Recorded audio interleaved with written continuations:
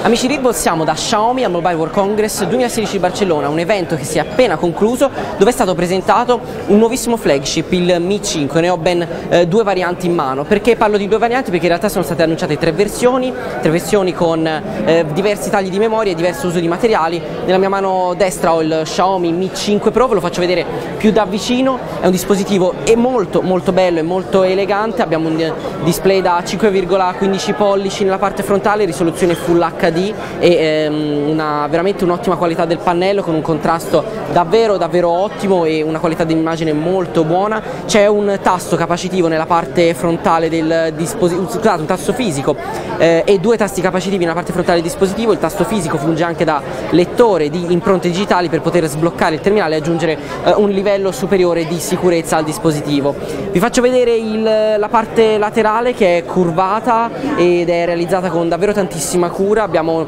eh, un vetro posteriore oppure nella variante Pro appunto una, una ceramica, ehm, una, una, una nano ceramica molto particolare, la zirconia, che appunto viene curvata su entrambi i lati del dispositivo e dietro abbiamo anche un modulo fotografico da 16 megapixel, il sensore il IMX eh, 298 di Sony, quindi uno degli ultimi modelli con eh, doppio flash LED a due toni di colore. Sul lato destro abbiamo i, eh, il bilanciere per il volume, il tasto di accensione e spegnimento, nella parte inferiore troviamo invece la porta eh, USB Type-C con speaker e microfono quindi eh, l'ultimo tipo di connessione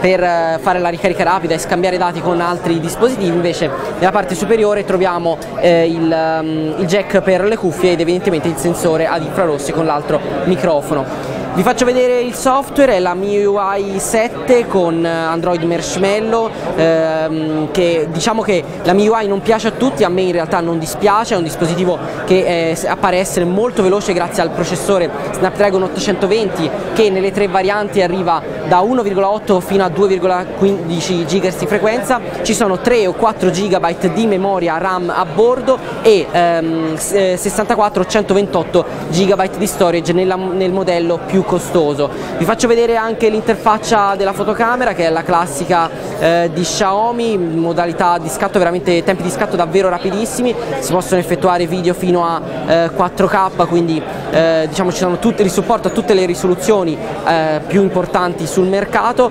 dispositivo che comunque arriva appunto con Android a bordo, c'è il Play Store e, dobbiamo, e lo vedremo soprattutto a partire da, eh, dal primo marzo su, negli store internazionali, il prezzo attualmente è difficile un po' da convertire comunque perché è in yen ma eh, diciamo che bisognerà eh, spendere all'incirca 300 euro per il modello base e poi salire per i modelli più avanzati, i modelli più costosi e potenti. Questa è Xiaomi Mi 5 dal Mobile World Congress 2016 di Barcellona, uno dei flagship più interessanti dalla fiera che sicuramente farà davvero concorrenza a Samsung Galaxy 7 delle GG5 che abbiamo visto proprio qualche giorno fa. Un saluto al prossimo video per idol.com, Andrea Ricci.